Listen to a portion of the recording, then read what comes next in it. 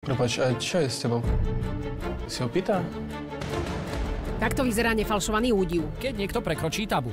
Treba odkráčať dôstojným krokom do kuchyne pre odpoveď. Dneska budeme hladní? Tak asi, neviem. Ale ak, ne, ja by som sa išla za ňou pozrieť, ak vám to nevadí. Tak a je to vonku. Ja nebudem nie, zo seba nie, debila nie, robiť nie, to. nie, nebudeš robiť do, do seba debila. Práve, že tam sadneš a povieš, čo sa stalo. Že aký si mala na to dôvod. Poď. Ďakujem. No nechcela som, aby moja rodina videla, že hneď prvá otázka pri stole sa niekto spýta, či som ožratá. Mám s tým trošku problém. Je to úprimná spoveď. Tam ten pán strapatý, nech sa ospravedlní. On ju neurazil, proste on jej povedal pravdu. Adam zlatý, všetky baby zlaté. Akurát toto, čo, toto čo ja to čudo urobil? tlsté, neviem, čo tu robí. Ja nie som taký tlstý, ale to tiež trafilo priamo. Ty si už na to tu sedíš, čo ja musím. Čo ja za to mám? Hovoríš po rusky, či? Večera začína výborne.